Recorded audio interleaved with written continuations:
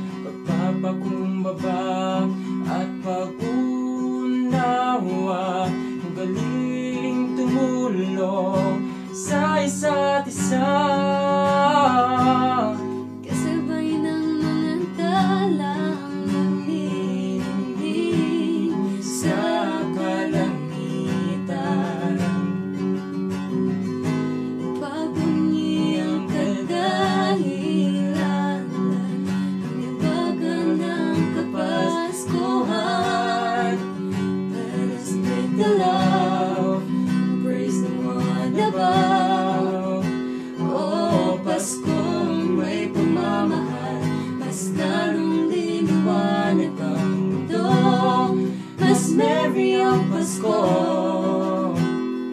If you feel as one ano ang totoo Pag-ibig natin ang Pasko. Kung magkakaisa ang ating paniniwala Payapang pagkakaisa ang kanyang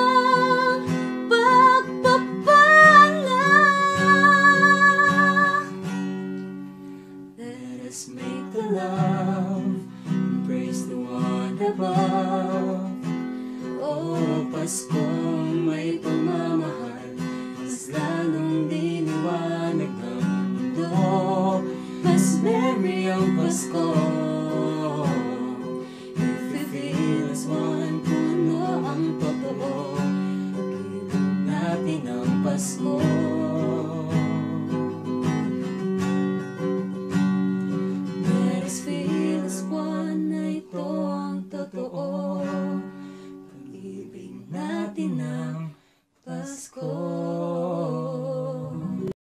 So, ayun na nga po yung pangatlong song entry ko sa Give Me a Break ng Nickel Entertainment. Sana po nagustuhan nyo yung kantang ibinahagi ko sa inyo ngayon. At huwag niyo po sanang kalimutang suportahan ako at ang aking mga co-contestants sa pangarap ng aming musika. Thank you po. God bless.